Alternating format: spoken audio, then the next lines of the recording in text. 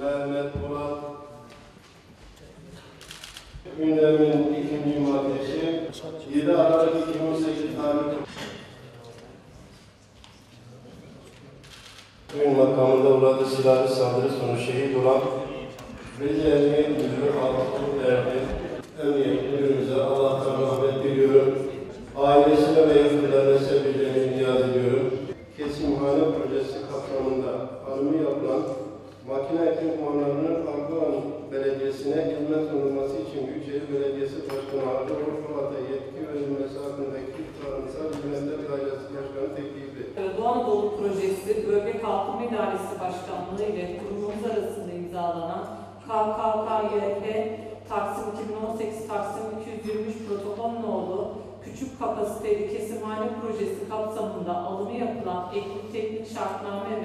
faturadaki makine ekipmanlarının Arguvan Belediyesi'ne ekteki protokole göre hizmet sunulması için Büyükşehir Belediye Başkanı Hacı Polat'a yetki verilmesi ve Büyükşehir Belediye Meclisi'ne görüşmek üzere havale edilmesi hususunda olurlarınızı arz ederim. Teklif oylarınıza sunuyorum. Kabul